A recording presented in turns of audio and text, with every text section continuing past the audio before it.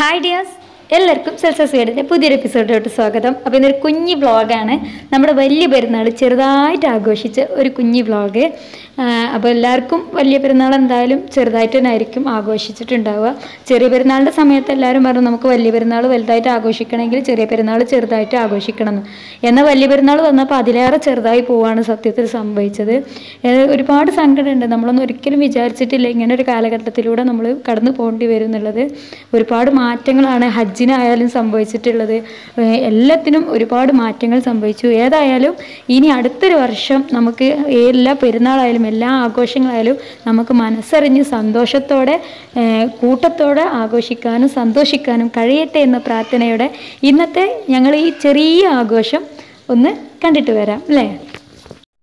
Delivery കഴിഞ്ഞിട്ട് ഇന്നൊക്കെ എഴുപത്തെട്ട് ദിവസമായിട്ടുള്ളൂ. അതായത് പെരുന്നാളിന്റെ അന്ന് എഴുപത്തെട്ടാമത്തെ ദിവസമാണ്. അതുകൊണ്ട് തന്നെ ഞാൻ ഇക്കാന്റെ വീട്ടിലോട്ടൊന്നും പോയിട്ടില്ല. ഞാനിവിടെ എന്റെ വീട്ടിൽ തന്നെയാണ്. അപ്പോൾ ഒരു വൈകുന്നേരം അഞ്ചര വരെ ഒന്നും അങ്ങോട്ട് പോകണ ഒരു സംസാരവും ഇല്ലായിരുന്നു. അങ്ങോട്ട് പോകുന്നുണ്ടെന്നോ അങ്ങനെയൊന്നും പറഞ്ഞിട്ടുണ്ടായിരുന്നില്ല. ഒരു അഞ്ചര ആയപ്പോണ്ട് ഉമ്മ വിളിച്ചിട്ട് പറഞ്ഞു ഞങ്ങൾ വരാം. ഒരു ഏഷ്യ ബാങ്ക് കൊടുത്തിട്ട് ഞങ്ങൾ വരാം. പെട്ടെന്ന് റെഡി ആയിക്കോ എന്ന് പറഞ്ഞു. പിന്നെ പെരുന്നാളിന്റെ അന്ന് ഇങ്ങോട്ട് തന്നെ കൊണ്ടുവിടാമെന്നും പറഞ്ഞിട്ടുണ്ട്. അതുകൊണ്ട് ഡ്രസ്സൊന്നും അധികം എടുക്കണ്ടെന്നൊക്കെ പറഞ്ഞിട്ടുണ്ടായിരുന്നു. പക്ഷേ ലോക്ക്ഡൗണിന്റെ സമയമാണ് എപ്പോഴാണ് ഹോട്ട്സ്പോട്ട് പ്രഖ്യാപിക്കണമെന്ന് പറയാൻ പറ്റാത്തൊരവസ്ഥയിലാണ് കൊണ്ടുപോട്ടി എന്നുണ്ടായിരുന്നത് ഇപ്പം ഞാൻ ഈ വീഡിയോ ഷൂട്ട് ചെയ്യുന്ന സമയത്ത് സോറി വീഡിയോ എഡിറ്റ് ചെയ്യുന്ന സമയത്ത് കൊണ്ടുപോയി ഹോട്ട്സ്പോട്ടാണ് ഇപ്പം ഞാൻ അങ്ങോട്ടും ഇങ്ങോട്ടും ഒന്നുമില്ല നിന്ന് എല്ലാവരും എവിടെയാണോ അവിടെ നിൽക്കുക. ആ ഒരു അവസ്ഥയിലാണ് ഇപ്പോൾ ഉള്ളത്. അപ്പോൾ അത് ഒരു മുൻകൂട്ടി അതിനൊരു സൂചന ഉണ്ടായിരുന്നു അങ്ങനെ ആകും എന്നുള്ളത്. അപ്പോൾ ഞാൻ അങ്ങനെ അവിടെ ആവുന്ന സമയത്താണ് അങ്ങനെ ആയിട്ടുണ്ടായിരുന്നെങ്കിൽ എന്നുള്ള എഴുതിയിട്ട് ഡ്രസ്സൊക്കെ കുറച്ചെടുക്കുകയാണ്. പിന്നെ ചെറിയ മോളുള്ളതുകൊണ്ട് ഡ്രസ്സൊന്നും കയ്യിൽ വെക്കാൻ ശരിയാവില്ല. പിന്നെ പഴയ ഡ്രസ്സുകൾ അവിടെ ഉള്ളതൊക്കെ പഴയതാണ്. അതൊന്നും ഇപ്പോൾ റെഡി ആവില്ല ഫിറ്റ്നസ് ഒക്കെ റെഡി ആവില്ല അപ്പം ഞാൻ ഇപ്പോഴത്തെ ഡ്രസ്സുകളൊക്കെ കുറച്ചിട്ട് പാക്ക് ചെയ്തിട്ട് കൊണ്ടുപോവാണ്.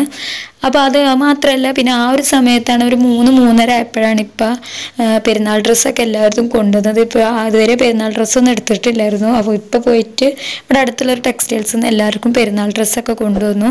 അപ്പോൾ അതും വേണം തയ്ക്കുക ഷേപ്പ് ചെയ്യണമെങ്കിൽ. ഞാൻ പോയിട്ടുണ്ടെങ്കിൽ ഉമ്മാന്റെതും നാത്തൂന്റെതും ഒന്നും ഷേപ്പ് ചെയ്യാൻ കഴിയില്ല ആർക്കും ഇവിടെ കഴിയില്ല. അപ്പോൾ ഞാൻ തന്നെ അതും ചെയ്യണം ചെയ്തിട്ട് വേണം എനിക്ക് പോകാൻ പിന്നെ നോമ്പുണ്ടായിരുന്നു അപ്പോൾ അത് നോമ്പ് തുറന്നിട്ട് വേണം ഈ ഒരു കാര്യങ്ങളൊക്കെ ചെയ്യാൻ. അപ്പോൾ അത് കഴിഞ്ഞിട്ടാണ് ഇതൊക്കെ ചെയ്ത് വെക്കുന്നത് അതുകൊണ്ട് തന്നെ ഇവിടുന്ന് പോകാൻ ലേറ്റ് ആവുകയും ചെയ്തു. പിന്നെ കൊണ്ടുപോകാനുള്ള കുറച്ച് സാധനങ്ങൾ എന്ന് പറഞ്ഞിട്ടുണ്ടെങ്കിൽ ഞാൻ ബെഡ്റൂം മേക്ക് ഓവറിന് കുറച്ച് സാധനങ്ങൾ ഓൺലൈനായിട്ട് വാങ്ങി വെച്ചിട്ടുണ്ടായിരുന്നു. അപ്പോൾ അത് അവിടെ കൊണ്ടുവെക്കാന്നായിരുന്നു ഇനി ചെന്നിട്ട് തൊണ്ണൂറ് കഴിഞ്ഞ് ചെന്നിട്ട് വേണം അതൊക്കെ ഒന്ന് മേക്ക് ഓവർ ചെയ്യാൻ. ഇവിടെ വെറുതെ വെച്ചിട്ട് കാര്യമില്ലല്ലോ. അപ്പോൾ അതങ്ങോട്ട് കൊണ്ടുവച്ചു.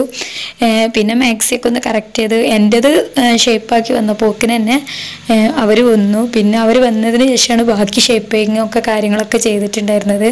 അതേതായാലും അതൊക്കെ കഴിഞ്ഞതിന് ശേഷം ഉപ്പ മന്തിയും അൽഫാമും കൊണ്ടുവന്നിട്ടുണ്ടായിരുന്നു അതൊക്കെ കഴിച്ചിട്ടാണ് നേരെ വീട്ടിൽ പോയത്. അപ്പോൾ വീട്ടിലെത്തിയപ്പോക്കിന് പത്തരായിട്ടുണ്ട്.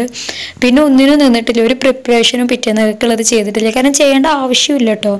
കാരണം പെരുന്നാളൊന്നും അങ്ങനെ ഇല്ല. നമ്മളതിന് അർജന്റ് കൂട്ടിയിട്ട് ഭക്ഷണം ഉണ്ടാക്കേണ്ട ആവശ്യമൊന്നുമില്ല.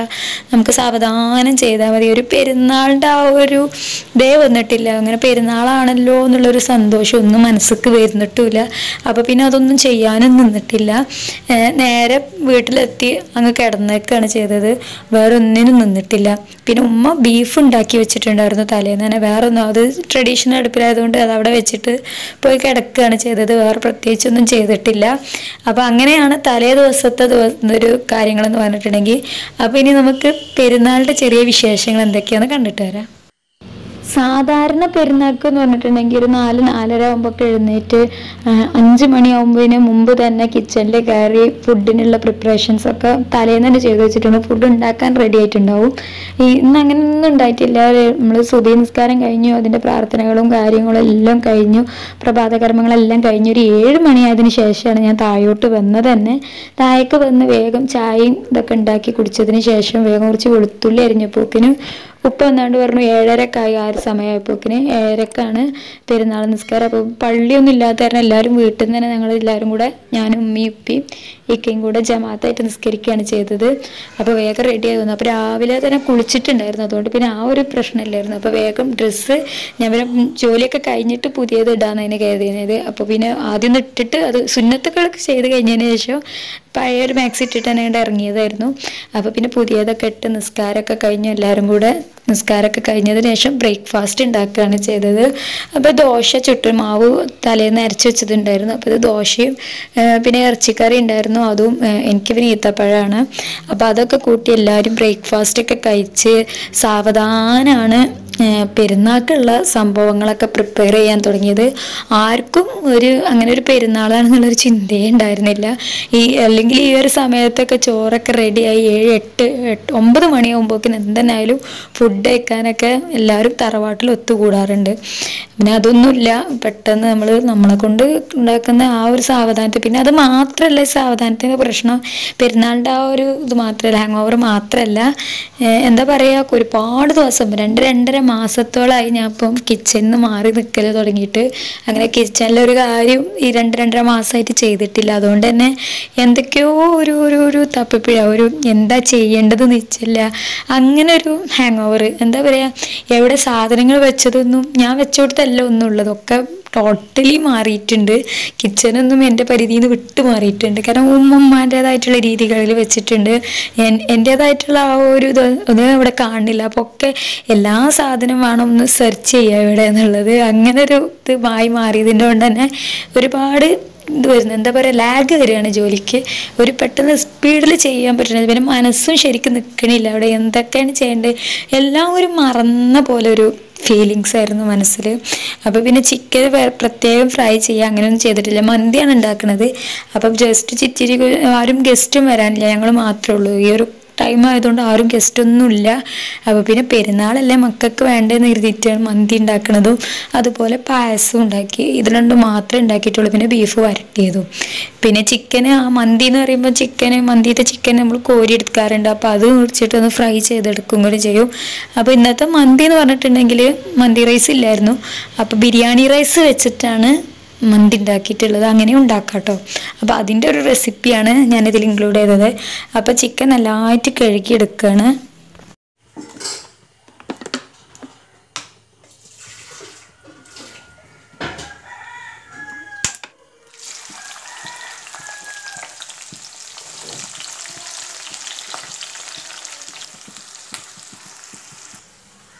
അപ്പോൾ മന്തിയിലേക്കുള്ള ചിക്കൻ അതിൽ നിന്ന് കോരിയെടുത്തതിന് ശേഷം ഫ്രൈ ചെയ്യണം. അപ്പോൾ അതിനനുസരിച്ചിട്ടാണ് ഓയിൽ ഓയിൽ വെച്ചെടുത്തിട്ടുള്ളത് അപ്പോൾ ആ അതിലേക്ക് കുറച്ച് സവാള ഇട്ടിട്ട് ഒന്ന് ഫ്രൈ ചെയ്തെടുക്കണം. ഒരു മീഡിയം സൈസ് സവാളയാണ് എടുത്തിട്ടുള്ളത്.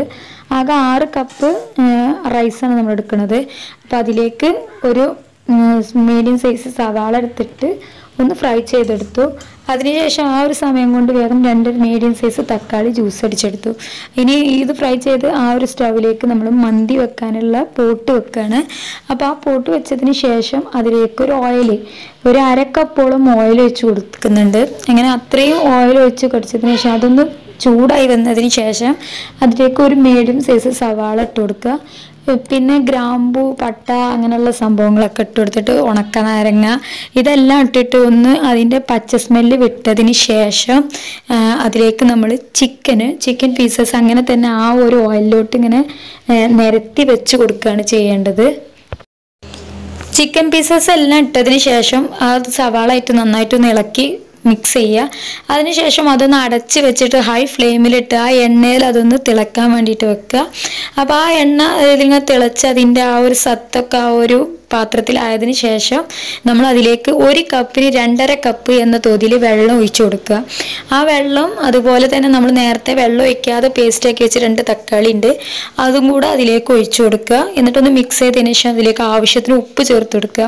നമ്മൾ റൈസും കൂടെ ഇടാൻ കണ്ടിട്ടുള്ള ഉപ്പ് ചേർത്ത് കൊടുക്കുക. പിന്നെ ഒരു ടേബിൾ സ്പൂൺ മല്ലിപ്പൊടിയും ഒരു ടേബിൾ സ്പൂൺ പെരിഞ്ചീരകപ്പൊടിയും ഒരു ടീസ്പൂൺ നല്ല ജീരകപ്പൊടിയും രണ്ട് ടേബിൾ സ്പൂൺ മല്ലി കുരുമുളക് പൊടിയും. അത് ആവശ്യത്തിന് എരിവിനനുസരിച്ച് കൂട്ടുകയും കുറുക്കുകയും ചെയ്യാം കേട്ടോ ഇത്രയും മസാലകൾ ഇട്ട് നന്നായിട്ട് മിക്സ് ചെയ്തതിന് ശേഷം അത് അടച്ച് വെച്ചിട്ട് നല്ല രീതിയിൽ തിളക്കാൻ വേണ്ടിയിട്ട് വെക്കുക. നന്നായിട്ട് വെള്ളം തിളച്ച് വന്നതിന് ശേഷം അതൊന്ന് ചെറുതാക്കി വെക്കുക. ഒരു അഞ്ച് മിനിറ്റ് പിടിക്കും അതൊന്ന് നന്നായിട്ട് തിളക്കാൻ വേണ്ടിയിട്ട്. പിന്നെ അതൊന്ന് ചെറിയ ഫ്ലെയിമിൽ ഇട്ടിട്ട് ഒരു പത്ത് മിനിറ്റോളം വീണ്ടും അതൊന്ന് തിളക്കാൻ വേണ്ടിയിട്ട് അവിടെ വെക്കുക. അപ്പോൾ ഈ ഒരു സമയം കൊണ്ട് തക്കാളി സോസ് ഉണ്ടാക്കുകയാണ്. റൈസിലേക്കുള്ള തക്കാളി സോസ് റെഡിയാക്കുകയാണ് അപ്പോൾ തക്കാളി സോസ് വളരെ സിമ്പിളാണ് ഒരു രണ്ട് തക്കാളി വെള്ളമൊന്നും ഒഴിച്ചിട്ടില്ല. പിന്നെ ഒരു മുറി ചെറുനാരങ്ങ നീരും അതിലേക്ക് ഒഴിച്ചെടുത്തു പിന്നെ എരിവിനനുസരിച്ചിട്ട് ഇതിലേക്ക് എടുത്തിട്ടുള്ളത് പച്ചമുളകല്ല. ചുവന്ന മുളകാണ് എടുത്തിട്ടുള്ളത്. അതും കൂടെ അതിലേക്ക് ഇട്ട് കൊടുക്കുക. ആവശ്യത്തിന് ഉപ്പ് ചേർത്തിട്ട് ഒന്ന് മിക്സിയിലിട്ട് അടിച്ചെടുക്കുക. നമ്മുടെ തക്കാളി സോസ് റെഡിയായി ഇത്രയേ ഉള്ളൂ. സിമ്പിൾ തക്കാളി സോസാണ്. അപ്പോൾ അത് അതായപ്പോൾ തന്നെ നമ്മുടെ ചിക്കനും റെഡിയായി വന്നിട്ടുണ്ട്. അപ്പോൾ അതിൽ നിന്ന് ചിക്കനൊക്കെ കോരി പുറത്തെടുക്കുകയാണ് വെളുത്തുള്ളിയും കിട്ടുകയാണെങ്കിൽ കോരി എടുക്കില്ല അതായത് ഉണ്ടായി നിർത്തിയിട്ട് കുഴപ്പമൊന്നുമില്ല കേട്ടോ. അപ്പോൾ അതിനുശേഷം നമ്മുടെ റൈസ് അതിലേക്ക് ഇട്ട് കൊടുത്തു. എന്നിട്ട് നല്ല പോലെ ഒന്ന് മിക്സ് ചെയ്തിട്ട് ഉപ്പൊന്ന് രുചിച്ച് നോക്കണം. ഈ പ്രാവശ്യം ഞാൻ പറഞ്ഞല്ലോ എനിക്ക് ആകെപ്പാടെ തഴപ്പയാണ് എന്നുള്ളത്. ഉപ്പിട്ടത് കുറച്ച് ജാസ്തി ആയിപ്പോയി. ആ ഒരു കംപ്ലൈന്റും കൂടി ഇന്നത്തെ ചോറിന് സംഭവിച്ചു. എനിക്ക് പറ്റിയൊരു ഫ്ലോപ്പ് തന്നെയാണെന്ന് പറയാം. എന്താണെന്നറിയില്ല. ഞാൻ ആ ഒരു സമയത്ത് നോക്കിയപ്പോൾ ഉപ്പ് അധികം ഒന്ന് ഓവറായി തോന്നിയിട്ടുണ്ടായിരുന്നില്ല പക്ഷേ പിന്നീട് ആ റൈസൊക്കെ ഒന്ന് കുക്കായി വന്നതിന് ശേഷം നോക്കിയപ്പോൾ ഉപ്പ് നല്ല ജാസ്തി ആയിട്ട് നിൽക്കുന്നുണ്ട്. അതോടുകൂടെ തന്നെ എല്ലാം മൂടും പോയി. പിന്നെ ആകെ സ്ലോ മോഷൻ പിന്നെ ഈ റൈസ് സെർവ് ചെയ്യണത് ഒന്നും എനിക്ക് വീഡിയോ എടുക്കാൻ തോന്നിയില്ല. ആകെ ആ ചിക്കൻ ഫ്രൈ ചെയ്യണത് ഒന്നും എടുക്കുക അത് ആ ഒരു മൂഡ് ഓഫ് ആയിപ്പോയി ഉപ്പ് ജാസ്തി ആയി പോയിട്ടുണ്ട് കാരണം കുറേ ദിവസത്തിന് ശേഷം കിച്ചണിൽ ഇറങ്ങിയിട്ട് ഉപ്പാക്കും ഉമ്മാക്കും ഒക്കെ ഫുഡ് ഉണ്ടാക്കി കൊടുത്തപ്പോൾ ഉപ്പ് കയറിപ്പോയല്ലോ എന്നുള്ളൊരു സങ്കടം മനസ്സിൽ വന്നു. വേറെ കുഴപ്പമൊന്നുമില്ല. ഉപ്പ് നന്നായിട്ട് ഏറിപ്പോയി വേറെ ഒരു പ്രശ്നമില്ലായിരുന്നു കേട്ടോ മന്തിക്ക്. നല്ല ടേസ്റ്റ് തന്നെയായിരുന്നു. പക്ഷേ ആ ഉപ്പ് കാരണം ആകെ ആകെ ഒരു ആകെപ്പാടെ എന്തോ മാതിരി ആയിപ്പോയി പിന്നെ നോർമലി ഉണ്ടാക്കുന്ന മന്തി തന്നെയാണ്. അതുകൊണ്ട് കുഴപ്പമൊന്നുമില്ല. ആ ഉപ്പിന്റെ ആ ഒരു പ്രശ്നം മാത്രം ഈ ഒരു മന്തിക്ക് അന്ന് സംഭവിച്ചു അതിനെനിക്ക് ഭയങ്കര ടെൻഷനായി പോയി അതുകൊണ്ട് ഞാൻ ചിക്കൻ ഫ്രൈ ചെയ്തതൊന്നും എടുത്തതുമില്ല. അതിൽ നിന്ന് കോരിയെടുത്ത ചിക്കൻ ഞാൻ ജസ്റ്റ് ഫ്രൈ ചെയ്തെടുത്തേക്കാണ്. മസാലയൊക്കെ വേറെ പുരട്ടിയെടുത്ത് ഒന്ന് ഫ്രൈ ചെയ്തെടുത്തു. പിന്നെ പായസം ഉണ്ടാക്കുകയാണ്. പായസത്തിലേക്ക് ആദ്യം നിങ്ങൾ കണ്ടില്ല? അത് തേങ്ങാപ്പാലിന്റെ രണ്ടാം പാലാണ്. ഫസ്റ്റ് പാൽ പിഴിഞ്ഞ് വേറെ എടുത്ത് വെച്ചിട്ടുണ്ട്. മറ്റേത് രണ്ടാം പാലാണ്. അപ്പോൾ അതൊന്ന് അതിലേക്ക് കുറച്ച് ഒരു ലിറ്റർ പാലും കൂടെ നമ്മുടെ മിൽമയുടെ പാലും കൂടെ അതിലേക്ക് ഒഴിച്ചു കൊടുത്തിട്ടുണ്ട്. അപ്പോൾ അത് തിളച്ചതിന് ശേഷമാണ് നമ്മൾ ഇതിലേക്ക് സേമിയ ഇടുന്നത്. സിമ്പിൾ സേമിയ പായസമാണ് കേട്ടോ. അപ്പോൾ ഇത് തിളക്കാൻ വേണ്ടിയിട്ട് വെക്കുകയാണ്. തിളക്കുന്ന ഏകദേശം ഒന്ന് തുള്ളി വരുന്ന ആ ഒരു സമയത്ത് ഇതിലേക്ക് ആവശ്യമുള്ള ഉപ്പ് ഒരു നുള്ളു ഉപ്പും അതുപോലെ ആവശ്യത്തിനുള്ള പഞ്ചസാരയും. അപ്പോൾ മിൽക്ക് മെയ്ഡ് വെക്കുന്നത് കാരണം നോക്കിയിട്ട് വേണം പഞ്ചസാര ഇടാൻ വേണ്ടിയിട്ട്. അപ്പോൾ പഞ്ചസാരയും കൂടെ ചേർത്ത് കൊടുത്തു. പിന്നെ ഏലക്കായും കൂടെ അതിലേക്ക് ഇട്ടിട്ട് രണ്ട് മൂന്ന് ഏലക്കായും കൂടെ അതിലേക്ക് തൊലിച്ചിട്ടു. അതിനുശേഷം നന്നായിട്ട് പാൽ തിളച്ച് വന്നതിന് ശേഷം അതിലേക്ക് സേമിയ പാക്കറ്റ് റോസ്റ്റ് ചെയ്ത സേമിയ പാക്കറ്റ് അതായിരുന്നു അതുകൊണ്ട് ഞാൻ വീണ്ടും റോസ്റ്റ് ചെയ്തില്ല. എനിക്ക് ആകെ മൂഡ് ഓഫ് ആയി പോയി. സാധാരണ ഞാൻ അതൊക്കെ റോസ്റ്റ് ചെയ്യാറൊക്കെ ഉണ്ട്. റോസ്റ്റ് ചെയ്തതാണെങ്കിൽ കൂടിയിട്ടും എന്റെ വക ഒന്ന് റോസ്റ്റ് ചെയ്യാറൊക്കെ ഉണ്ടായിരുന്നു.